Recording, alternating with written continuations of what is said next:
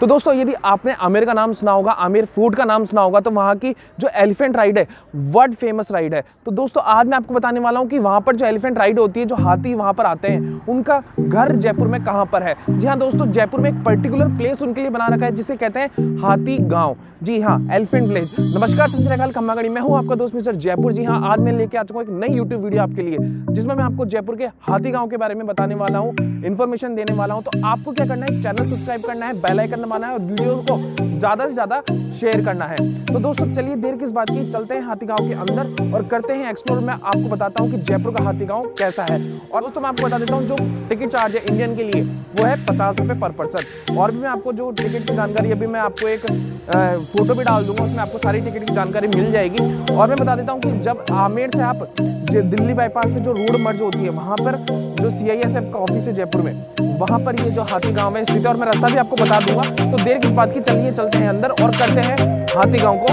Explore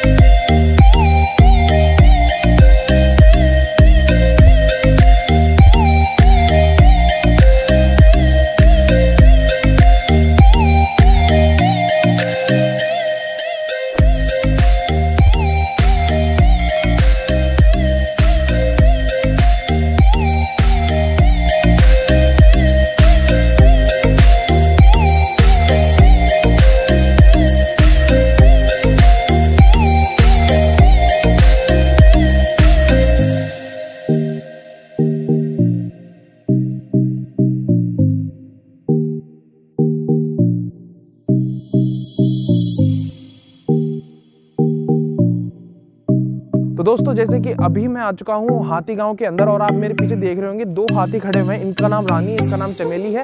और मैं आपको बताने वाला हूँ कि कैसे इनको रखा जाता है क्या क्या इनका खान पान होता है, कैसे इनको ट्रेनिंग यहाँ पे दी जाती है। एक बार आइए, मैं आपको बता देता हूँ, मिलवा देता हूँ। देखिए, काफ़ी फ्रेंडली ये जो होते हैं, इनको प्रॉपर तरीके से ट्रेनिंग दी जाती है ताकि किसी को हार्म नहीं करे। और ये देखिए इनको आप बढ़िया इनके साथ यहाँ पे फ़ोटो खिंचवा सकते हैं, बढ़िया इनके साथ टाइम स्पेंड यहाँ पे कर सकते हैं और काफ़ी ये आसाम से और यहाँ से जो लेके आए जाते हैं और इनका प्रॉपर तरीके से ध्यान रखा जाता है प्रॉपर तरीके से इनके रख रखाव की यहाँ पर व्यवस्था है। यहाँ पे इनके लिए देखो, आप मेरे पीछे देख सकते हैं, घर प्रॉपर तरीके से जो इनके बाड़े हैं, जो हाथियों के बाड़े हैं, देखो यहाँ पे आप देख सकते हैं डिज़ाइन किए गए हैं। तो एक काफ़ी बढ़िया बात है कि जयपुर के जो टूरिज़्म को जो बढ़ावा देने में एक एलिफेंट राइड का जो योगदान है, वो भी काफ़ी सराहनीय आप देखिए इंश्योर मिल लेते हैं। ये थोड़ी सी पीछे खड़ी हुई है, ये थोड़ी सी चुलबुली है, ये चमेली है। ये देखिए ये देखिए आप। ये देखिए आप। ये अभी मेरी तरफ़ इसलिए कर रही है क्योंकि इसको लग रहा है कि मैं इसको कुछ खिलाने वाला हूँ, पर ये अभी गन्ने खा रहे हैं ऑलरेडी देखिए, ये है जयपुर का जो हाथी गाँव है, उसके अंदर का सीन मैं आपको ये बता रहा हूँ, ये देखिए आप। ये देखिए, कितने प्यारे प्यारे जो आपको यहाँ पे हाथी देखने को मिल जाते हैं, देखिए आप।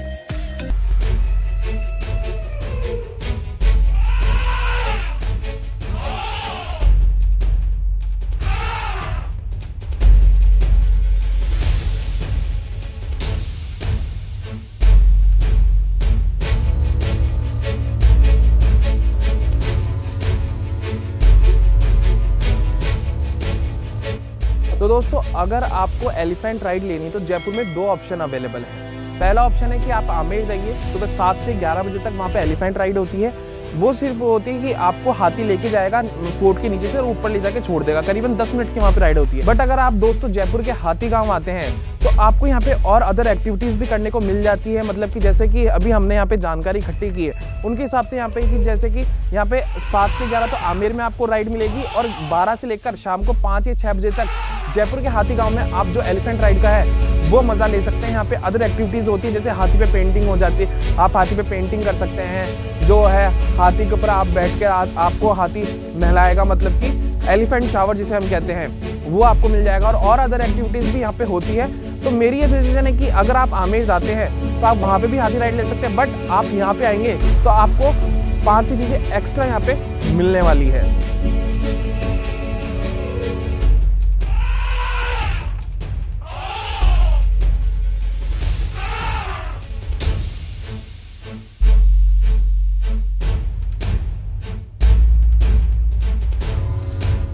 तो दोस्तों, जैसे कि हाथी गाँव के बारे में मैंने आपको बताया कि कैसे यहाँ पे हाथियों को रखा जाता है, कैसे यहाँ पे ट्रेनिंग यहाँ पे दी जाती है। अभी भी आप मेरे पीछे देख सकते हैं ये हाथी खड़ा है और इसका घर मैं आपको बताने वाला हूँ क्या क्या ये खाते हैं। शुगर के एंट्री से हम गन्ना कहते हैं हिंदी में। उनका भोजन ये है, सिर्फ़ गन्ना ही खाते हैं। आइए, मैं आपको इनका घर बता देता हूँ कि कैसे ये घर में रहते हैं, कैसे ये मतलब कैसे ये अपना जो यहाँ पे ज़िंदगी है वो काटते हैं। ये देखिए आप, ये है, ये इनका बाड़ा है हाथियों का, ये देखिए आप।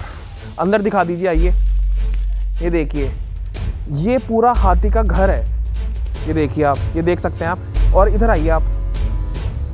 ये देखिए, और जो ये खाते हैं, जो खाना है इनका, वो इस तरीके से स्टोर रखा जाता है। आप ये देखिए, जो शुगर केन है, जो गन्ने हैं, जो मोस्टली कोटा से मंगाया जाता है इनका जो ये गन्ना है, कोटा से यहाँ पे मंगाया जाता है और यहाँ पे स्टोर किया जाता है। जो एक बड़ा सारा प्लॉट होता है, उसमें तीन हाथी रखे जाते हैं। अभी जैसे मैंने आपको बताया, और देखिए आप बताइए, आइए आप, मैं आपको बता देता हूँ। ये देखिए, एक ये घर रहा। और एक इसके पीछे भी घर होता है। तो एक बाड़े में तीन हाथी रखे जाते हैं, ये देखिए आप। ये इनका घर है यहाँ पे। और जो इनके पीछे है, उनकी फैमिलीज़ रहती है। मतलब जो महावत होते हैं, उनकी फैमिलीज़ वहाँ पे पीछे रहती है। तो इनका जो ख्याल है, पूरा प्रॉपर तरीके से इनका ख्याल जो मेंटेनेंस होती है, वो रखी जाती है ताकि ये इनकी जो उम्र है, वो काफ़ी लंबी रहे। और ये जो जयपुर पर्यटन में है, वो अच्छी तरीके से अपना योगदान दे सके।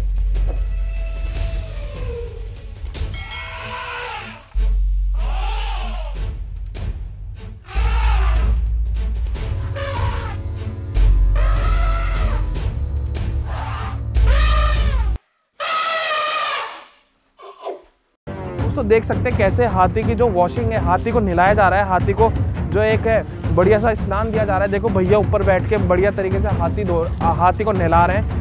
और ये भाई साहब मस्त होके, देखिए कैसा मस्त मज़ा ले रहे हैं, आप देख सकते हैं यहाँ पे। बढ़िया तरीके से भैया मसल मसल के निला रहे हैं। ऐसी बढ़िया केयर यहाँ पे की जाती है, तब जाके ये जो है, ये देखिए इतने जो केयर और जो मेंटेनेंस होती है, वो बहुत भारी पड़ती है। देखिए कितने अच्छे तरीके से इनको ये वॉश कर रहे हैं और कितने बड़े तरीके से यहाँ पे हाथियों का ख्याल रखा जाता है।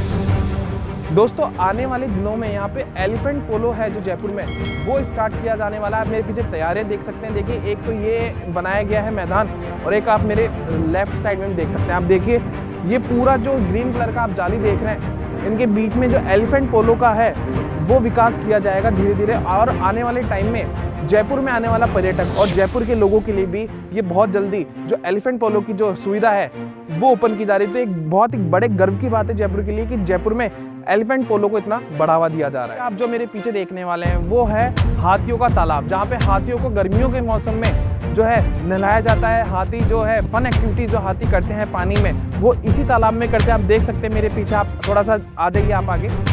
आप दिखा दीजिए, देखिए कितना सुंदर तालाब है, कितनी शांति वाली जगह है। मैं तो कहता हूँ कि जयपुर में आप जो टूरिस्ट प्लेस जानते हो, उसको छोड़ के आप कभी ऐसे लोकल टूरिस्ट प्लेस को आओ, आप यहाँ पे देखो, आप यहाँ पे घूमो। आप यहाँ का कल्चर देखो कितना शानदार है, क्योंकि जयपुर में बहुत सारी जगह ऐसी हैं जो मैंने एक्सप्लोर की हुई जहाँ से अभी तक बहुत बहुत सारे लोगों को नहीं पता है। दोस्तों, आज की आपको वीडियो बहुत ज़्यादा पसंद आई होगी, क्योंकि मैंने ऐसी जगह का एक्सप्लोर किया जिसके बारे में आप बहुत कम जानते होंगे।